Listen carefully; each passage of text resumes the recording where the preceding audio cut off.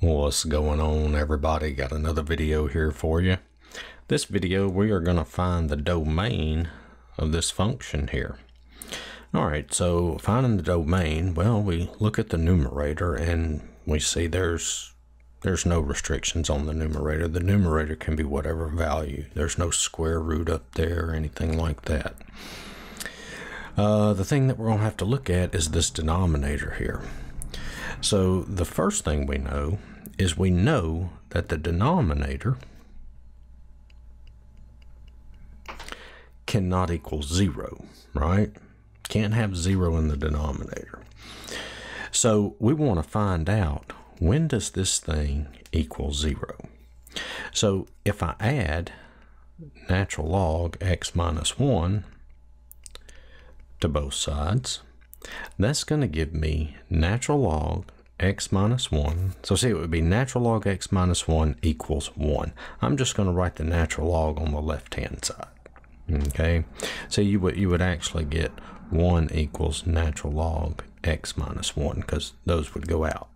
And so I just, I just swap sides. All right. All right, so now what we want to do is we, we need to solve this thing here for, for x. So if you remember, natural log, the natural log of x, okay, we're not looking at this problem right now. The natural log of x is the log of x with base e. Remember, it's understood that there's a log and that's a base e. So if you remember how to convert that, that's going to be what? E to the first. Remember, it's whatever the base is. There's a, it's understood there's that's log base e. It's understood base e.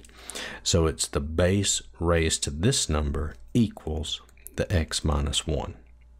And so here we get x is equal to e plus 1. All right, so that's what would make the denominator 0. And then what's the other thing that we know? Well, the other thing that we know is we can't take the log of a negative number and we can't take the log of zero. So this part right here, this x minus 1 cannot be 0 and it cannot be negative. So that tells us that x minus 1, if it can't be 0, it can't be negative, that means it has to be positive or it has to be greater than zero. So if we solve this, we're going to add 1 to both sides. And so that's going to give us x is greater than 1. All right, so let's write this domain and interval notation. We're finding the domain. So we've got 1 here. We've got e plus 1 would be there, right? So the domain has to be, well, I messed that up, didn't I? That should be a x greater than 1. When you add the 1 to both sides, I don't, don't ask me why I wrote the 0. It should be x greater than 1. So that means x has to be larger than 1, but it cannot include 1. So we've got an open circle. It's greater than 1. And then remember, it can't be this either because that would give us zero in the denominator. So we have an open circle there and it goes all the way to infinity. So our domain would be from 1 to e plus 1. That takes care of this part. And then we hop over this and we have e plus 1 to infinity. Let me draw that a little better. And this would be our domain.